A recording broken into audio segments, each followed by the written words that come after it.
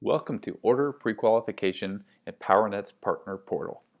The first step in prequalification will be to go to Customer Center, Order Entry. Once you are in the order entry piece, your first task is to do your service selection. I'm going to select Add to Cart on the Hosted IPPBX Business Group. Once I have added that to cart, I'm ready to hit Next, as you'll see over here on the right hand side.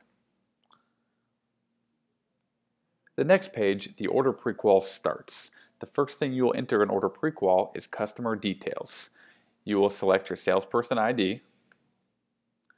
You will type in the name. Let's say I'll do test user 1 that is located at 555 Governors Hill Drive in Cincinnati, Ohio 45249. Once I am finished with customer details, select next.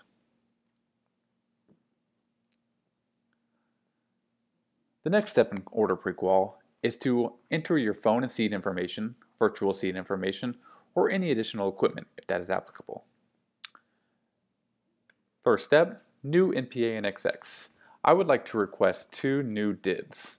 I'm going to select area code 513645. And I would like to have a quantity of two.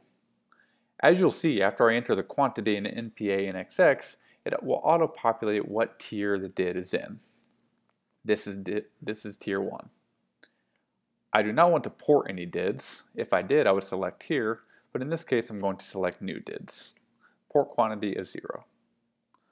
The next step is to select what seats you want for these two new DIDs.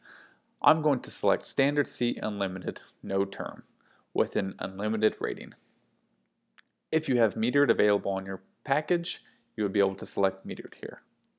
The next step would be select what phones you would like for these two seats. I'm going to select the Polycom VVX400. The next would be virtual seat information. A virtual seat is used if there is not an outside DID that needs to be applied to the phone or to the auto attendant or to the hunt group. For this example, it's going to auto-populate a 555-200 DID and I need one of them. The tier does not matter because it's not a real number that can be accessed from the outside world, and I'm also not porting any. The next would be the selector seat. In this case, I would like this number to be tied to an auto attendant, that automated receptionist. And I'm not going to have a phone assigned to it.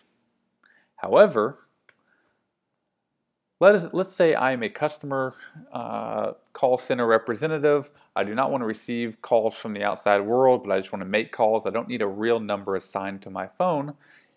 They would also receive a virtual DID. So they can receive a 555-200 DID. I want one of those. I want that to be a standard seat. And I want to have a Polycom VVX 400.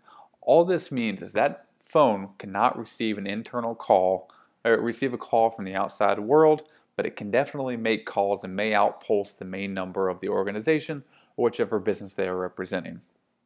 Furthermore, if this user is to belong to a hunt group of, let's say, the main number of the organization, they may receive a 555-200 DID that will belong to that hunt group. So they may receive a call from the outside world if they belong to the hunt group, but cannot receive a direct inward dial call. The next step would be additional equipment. If you have additional equipment on your package, you could select your firewall or your switch here. And finally, additional features. This is where you select if you would like to have call recording on a line and how many you need. This is where you would select if you need to have uh, voicemail speech to text enabled on any lines and how many of those you need. After you are complete with the order prequal section here on the hosted IP PBX information, you will hit submit.